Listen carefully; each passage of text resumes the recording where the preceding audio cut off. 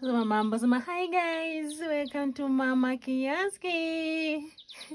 so guys, I'm actually having my my niece here actually. Say hi, Kachi mommy. Say hi. So guys, I'm actually here. I'm trying to arrange my mom kiosk guys. Yeah. Actually kiosk yake iko tu ndani ya nyumba.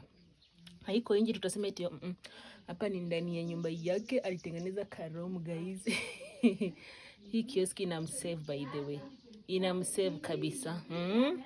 Na inapeleka guys, usikaone tu hivi ni kadogo. Ah.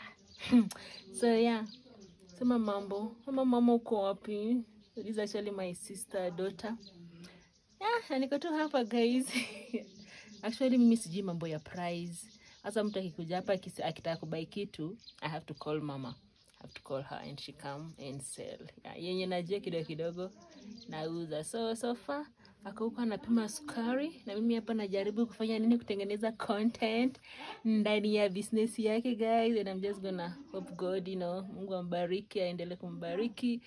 Maybe in the next two years guys tutakuja back tuangalie hii video and tuone maybe na namsupport kidogo na inakuwa biga biga maana maana gani? Chemami nimefungua kwa mgongo sababu wewe hautaki kukaa chini. Ukikaa chini unaanza kupasua vitu za mama.